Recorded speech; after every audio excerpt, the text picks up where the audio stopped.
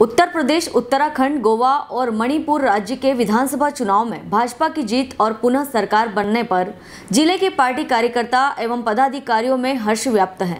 इसी को लेकर खरगोन में भाजपा जिला अध्यक्ष राजेंद्र सिंह राठौड़ के नेतृत्व में भाजपा कार्यालय पर आतिशबाजी और मिठाई वितरण कर एक दूसरे को जीत की बधाई दी। भाजपा की जीत को राष्ट्रवाद की जीत बताया।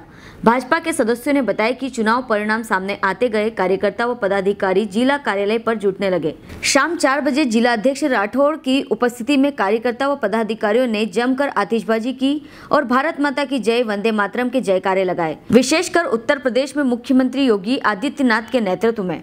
पुनः भाजपा को बहुमत प्राप्त करने पर ढोल ताशे की धुन पर गरबा नृत्य कर जीत पर हर्ष जताया। खरगोन से जयंत गुप्ता की रिपोर्ट। हेलो फ्रेंड्स आप देख रहे हैं हमारा channel S W twenty four news हमारे सारे वीडियो सबसे पहले देखने के लिए आप हमारे चैनल को सब्सक्राइब करें और पास में लगे बेल आइकन को दबाना बिल्कुल भी ना भूलें।